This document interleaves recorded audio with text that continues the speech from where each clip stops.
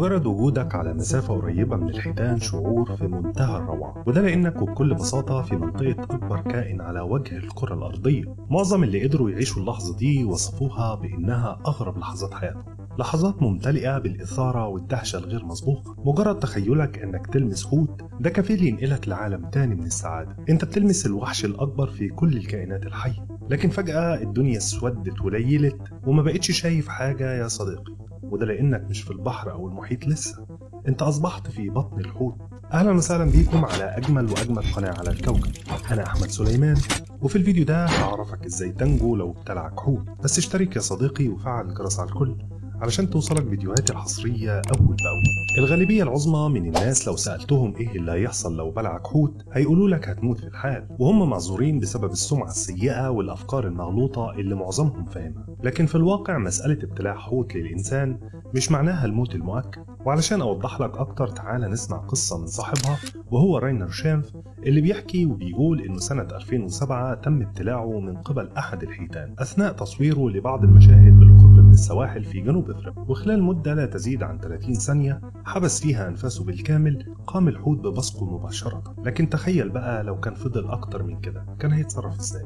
بس خليني أسألك إزاي تتجنب أسنان الحوت لو كان من حيتان العنبر وإزاي تنجو من أحماض المعدة القادرة على حرقك بأبشع الطرق؟ وإيه هو أسوأ وقت للهروب؟ في البداية خليني أوضح لك إنه من ضمن كل أنواع الحيتان المعروفة في حوت واحد قادر على ابتلاع الإنسان. وفي الغالب عقلك بيقول لك إن الحوت ده هو الحوت الأزرق نظرا لحجمه العملاق جدا وفتحة الفم الخاصة بيه والقادرة على ابتلاع 500 إنسان كامل الحجم مرة واحدة. ده بالإضافة إلى إن معظم أوقات الحيتان الزرقاء بتكون فاتحة فمها أثناء الصيد علشان تتغذى على الأسماك وغيره. لكن صفائح البالين الموجودة في فم الحوت الأزرق هتكون زي الشبكة أو الحاجز اللي هيمنعك من الدخول لبطن الحوت. حتى لو الشخص تم مروره من صفائح البالين دي هيكون صعب جدا إنه يوصل لمعدة الحوت الأزرق. وده لأن المريء الخاص بالحوت الأزرق لا يتجاوز ال 25 سم يعني تقريبا 10 بساط.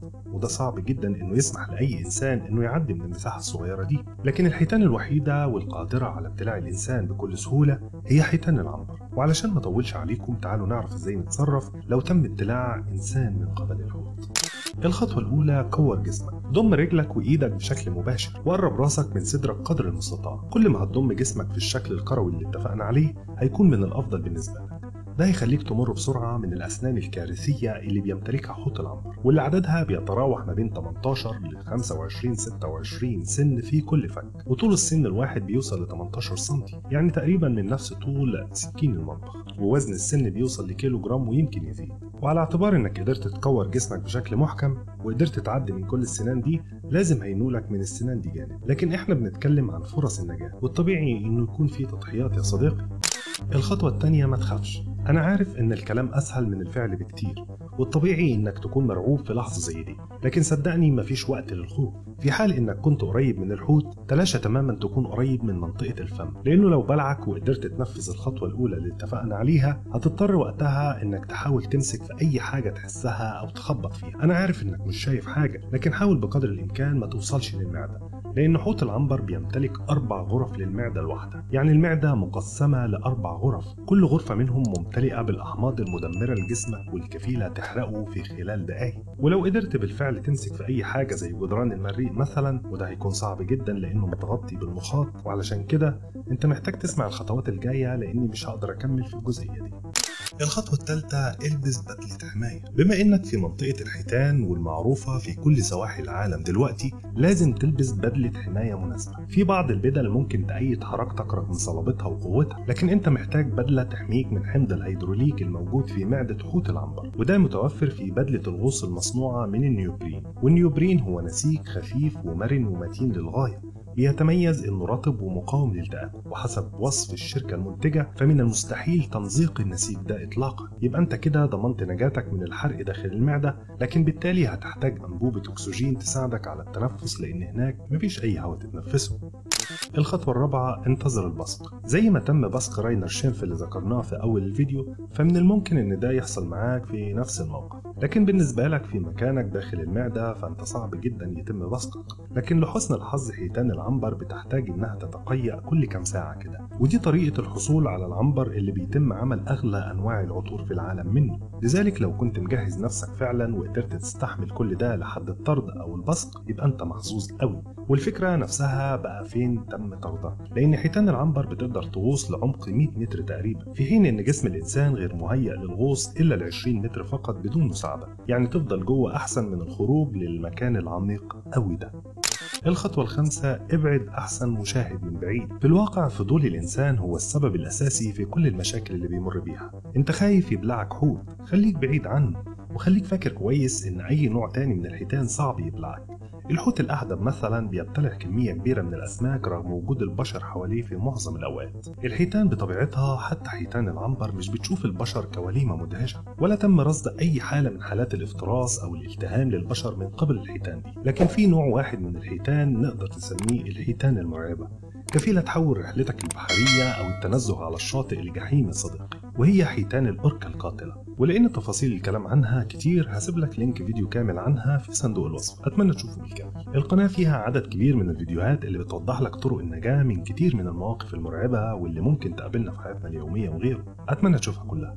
والفيديو ده إهداء للأستاذة فريدة اللي طلبت الفيديو ده بالتحديد. وبكده يكون خلص الفيديو.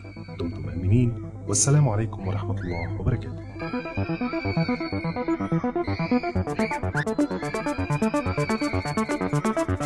كانت بتلعب معاهم كالعادة وفجأة تحول الصرح المائي الممتع لساحة من القتل الهمجي قدام مئات المشاهدين. واللي لسه فاهمين إن العرض ترفيهي مش حقيقي. تخيل إنك في يوم كنت في عرض مائي ومرتب يومك كله إنك تتفرج على أخطر كائنات المحيط وهي بتمارس الألعاب البهلوانية مع مدربين السباحة. مدربين السباحة دول من المفترض إنهم على احترافية كبيرة جدا وعندهم قدرة للتعامل مع الكائنات دي. وفجأة اتقلب السحر على الساحر الحيتان القاتلة هي الكائن الأشرس بلا منازع داخل مياه المحيطات. ارتفاعها بيوصل لتسعة أمتار تقريبا. سباحة ماهرة لأبعد الحدود. وسمك القرش صاحب السمعة السيئة بيعكز على مجابهة شراسة وهمجية الحيتان القاتلة واللي واضح من اسمها طبيعتها المفترسة. حسب تقارير العلماء والصيادين أكبر حوت أوركا تم الوصول إليه وصل وزنه لعشر أطنان. وطوله زاد عن 9 متر بأسنان خارقة لأجسام الضحايا سواء كانت فقمات أو حبار عملاق أو حتى سمك القرش الأبيض والأكبر من كل أنواعه. الخطر الأكبر يا صديقي بتمتلكه حيتان الأوركا المحجوزة داخل الأماكن الترفيهية أيا كان اسمها واللي تقدر تقول إنها برك صغيرة بتحجم منطقة الحوت القاتل بشكل إجباري. سجن معزول فيه عن طبيعته اللي اتخلق عليها وده كفيل يخلي سلوكياته بشكل كامل عدوانية بشكل يفوق الوصف.